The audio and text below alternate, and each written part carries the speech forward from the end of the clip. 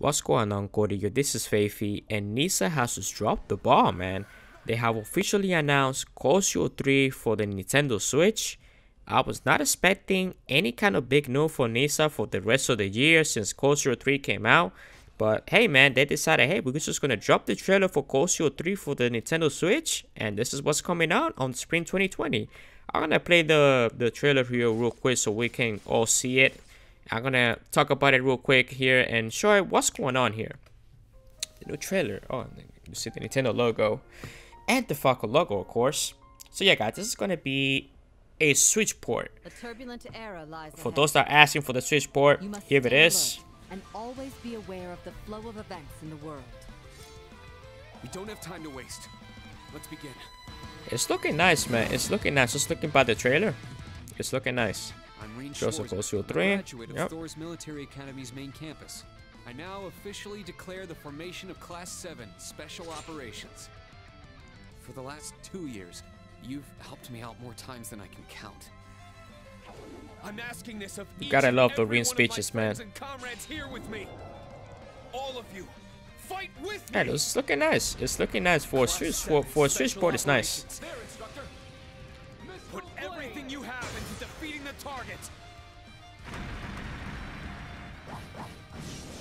As long as you find meaning in what we're doing, you have a place in Class 7. Think hard about what you believe, what you want to accomplish, the kind of future you want, and, most importantly, who you are. Take all that to heart. the Rean speeches, man, you gotta love them, man. It's looking nice though. I gotta say, man, for a Switch port, it's not it's not a it's not a disaster looking game for the Switch, but it's looking nice. I gotta say. Trails of Cold Steel 3.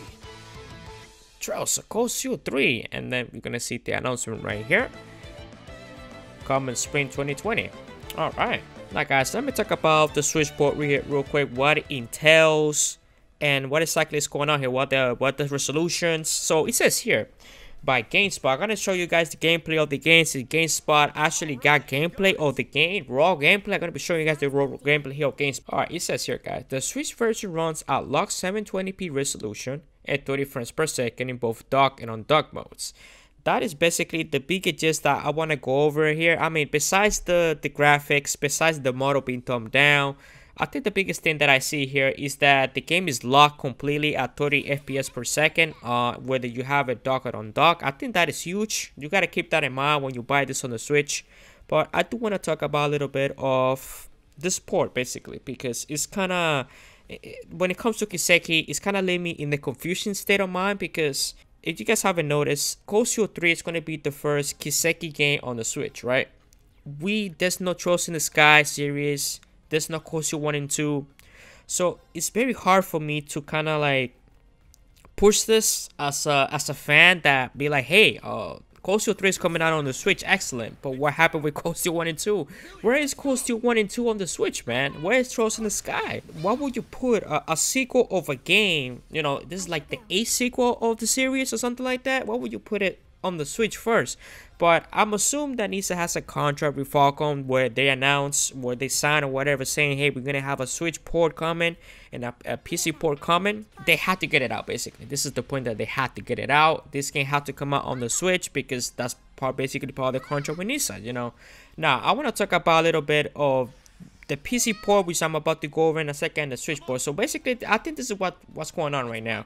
So Nisa basically work on on the Switch port by themselves, and then basically going to hire someone for the PC port, uh, because for them to be announcing this, you know, ready to go for spring 2020, you know, before the year ends. I mean, the year hasn't even ended. Cold Steel 3 came out about less than two months ago and they're already having you know this trailer for the switch hey the switch is coming before i go on and talk about the pc port let me talk about a little bit of history of nisa so you guys know about nisa they really screw up the Ys 8 lacrimosa of dana basically uh, PC port. You guys know what happened. I made videos of it or, or multiple videos of it, but I'm gonna go over quickly about it. Basically, they, they decided to release the Switch port and the PC port at the same time. They basically, the ports were basically done in-house in NISA, but they really jacked up the PC port to the point that they had to delay it.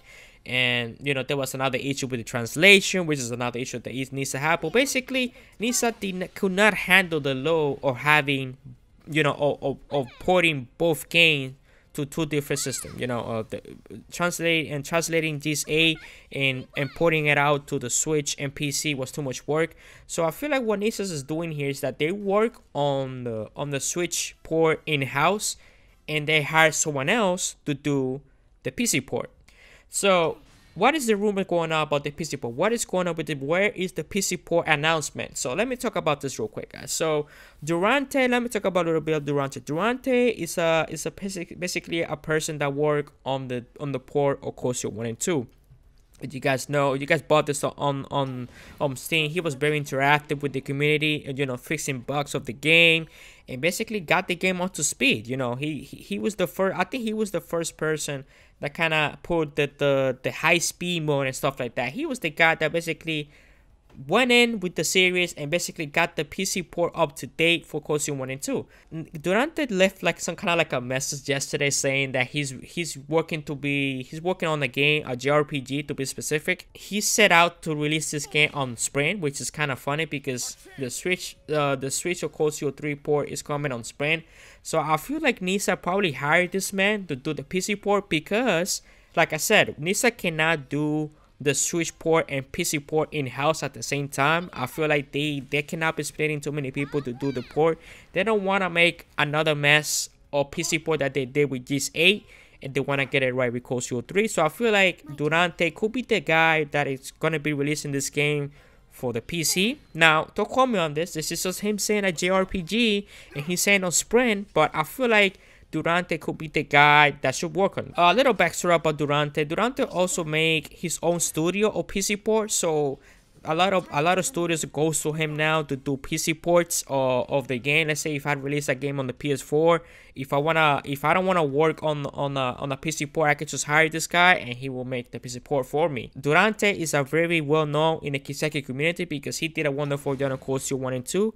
So I do feel like that he is possibly the guy that's gonna be releasing Cold Steel 3 for the PC. So like I said, this is all rumors. Durante did said that he's working on a JRPG and it's you know he cannot say which game it is due to contract reasons. You know you gotta say contract and, and DeNA saying hey you cannot be leaking anything. So we just gotta wait and see. But PC guys, just hang on tight that game will definitely Cold Steel 3 will be coming out on the PC eventually. You know, I'm pretty sure it's com it's com it's coming out in 2020 as well, which is kind of hand out time for the announcement. It's just it's I just gotta say it is surprised me to see a Nintendo Switch Cold Steel 3 port trailer before the year ends. I was not expecting this. I was expecting this trailer kind of like in the beginning of next year, but Nisas is going in, man. They they they're trying to get that money, and the Kiseki is the new, you know, the is the new hype. The new hype. They they gotta make that money, man. All right, guys.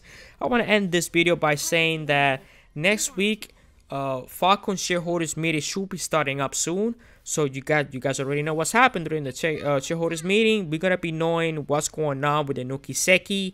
We might officially know the title of the game. If we might officially know the MC, we're probably gonna see the MC faces. Who's gonna be the MC? What the game's gonna be about? We're gonna see screenshots. You know that kind of stuff. So make sure you subscribe and you stay tuned because once those leaks start coming out, I'm gonna be talking about them with you know with information like I usually do, and we crack it out, man. You know, and Kiseki has had a wonderful year this year, and we're gonna be ending this year with more Kiseki, with more wonderful news. So hey, man, we're gonna be on top of it. All right, guys, I'm gonna end the video right here. I don't wanna make this too long. They call me Feify, and I'll see you guys on the next one. All right, catch ya.